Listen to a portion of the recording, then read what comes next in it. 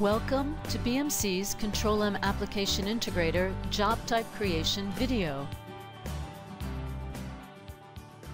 In this video, you will learn how to create a job type for applications that expose REST APIs.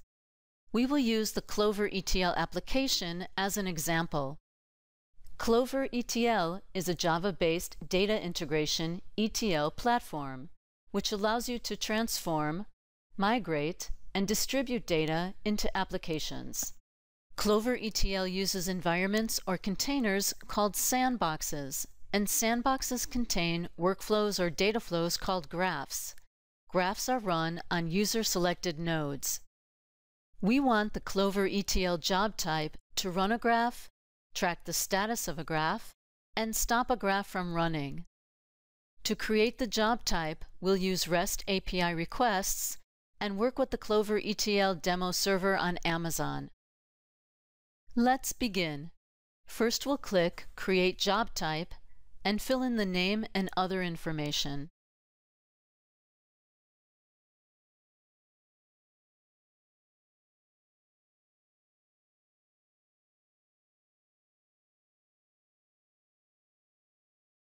The default interface type is REST API. For this job type, we need one execution step.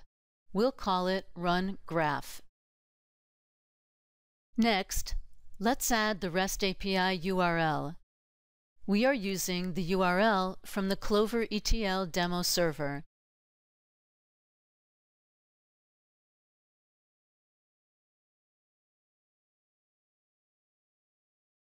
We'll need to change the port 80 to a parameter. So we'll open the URL location settings dialog and make the change. Since this job type requires authentication, we'll select the Authentication Required checkbox. We'll use the default values for the username and password, which were selected automatically. Now let's save our changes. When you create a REST API job type, by default, four fields are added to the connection profile. For the method field, we'll use the default HTTP method GET. As you can see in the demo server, when you execute the request, you see both the request and response formats, which will help us to enter the request and handle the response. Now we'll enter the URL request path to run a graph taken from the Clover ETL documentation.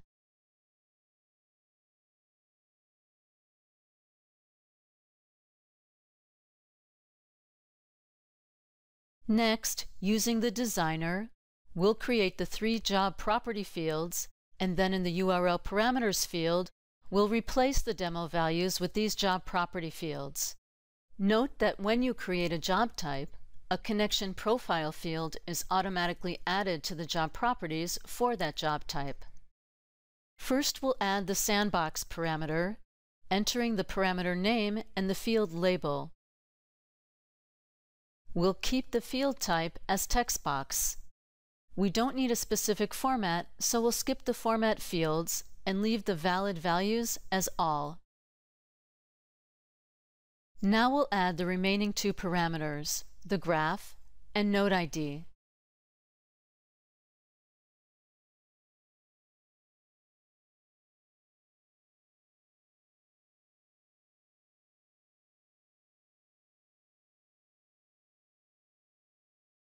Next, we'll copy the parameter value string from the demo server site and paste it into the URL parameters field.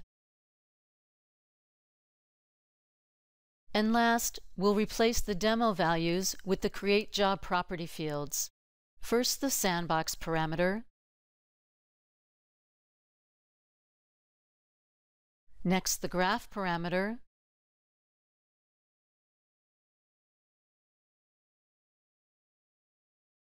and then the node ID. The response for this request is the graph run ID. We want to keep it so we can track the status of the graph run. We'll enter an output handling action to extract the run ID. Let's fill in the output handling information. We want to keep the default value any response. Extract from body. Content type is just text, the four digits, so we'll select Other. For if output line starts with, we'll enter an asterisk. For do, we'll select Extract and Handle Data and keep the default value whole line. We'll select the Keep Extracted Data in Runtime Parameter checkbox and enter the parameter name run underscore ID. Now we want to add a verify operation to the execution step to look for the end value. There are several values, but we only want the statuses that show the process finished. There are three possible values for that, error, aborted, and finished OK. We'll select the Verify Operation Completion checkbox, which automatically adds the operation to the execution step. Now we'll fill in the details for this substep, and we'll add the three output handling actions, one for each possible value. We'll use the same URL as we did in the main execution step. The URL location and the method information is already filled in. We'll enter the URL request path taken from the demo server. Next, we'll enter the URL parameter for run ID.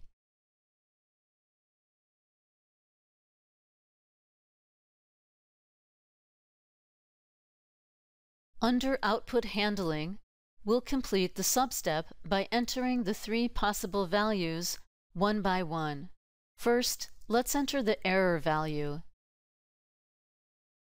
we want it to complete and fail. Now the abort value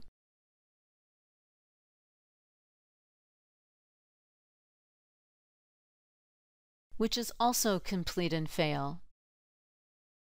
And last, the finished OK value,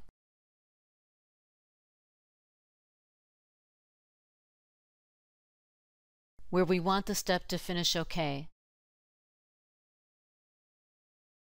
For any other value, this step will continue running and tracking the status.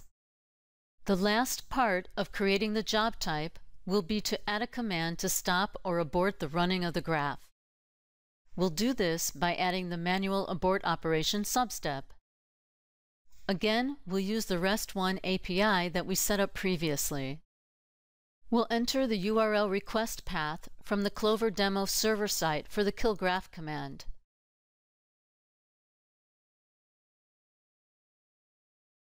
In the URL parameters field, we'll use the runID parameter as we did in the verify operation completion step. The Clover ETL job type is all set up, and here in the designer window are the four job property fields that we created. We can go one step further and enhance the user experience by adding a button to the sandbox and graph fields. This enables the user to select available sandboxes and graphs from a list.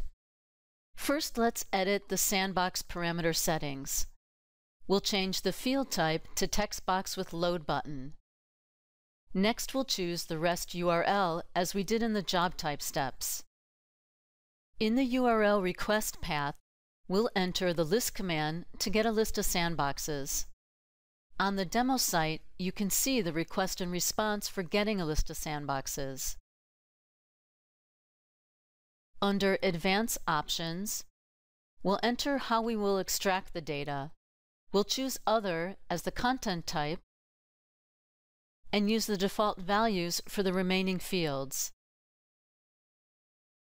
And now you can see the Load button was added to the Sandbox Job Properties field. We'll do the same thing for the graph field. First, we'll open the parameter to make changes. We'll enter almost all the same information as we did for the sandbox parameter, except for a couple of things. We'll change the field type, and then choose the REST URL.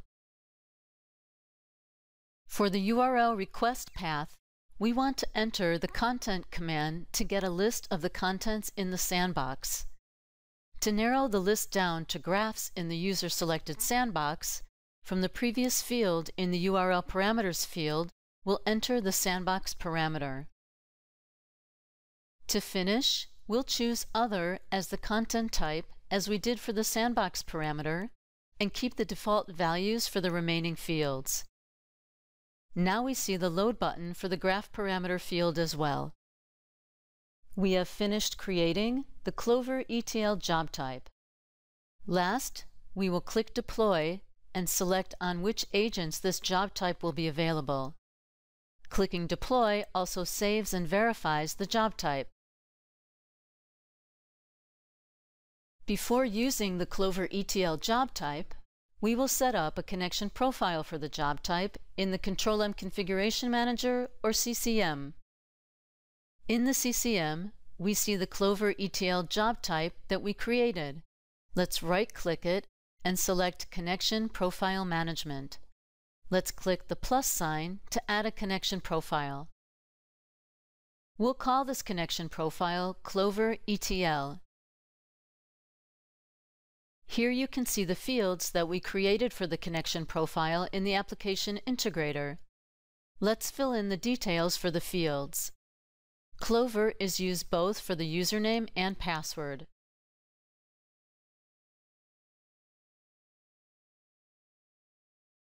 Now we have a connection profile set up that we can choose when using the Clover ETL job type. Last, let's take a look at the job type in the Control-M client. Let's open a blank workspace. In the Job palette, you can see the Clover ETL job type that we created. Let's create a new job using this job type. Here in the Job Properties, we can see the parameter fields that we created in the Application Integrator. To choose the connection profile, we can click the Load button and select the profile that we just created.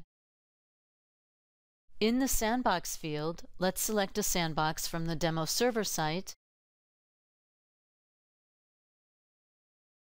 and then select a graph from that sandbox. The node ID is an optional field. We'll leave it empty. Now we'll order the job. Here in the monitoring domain, we can see that the job has run and is completed.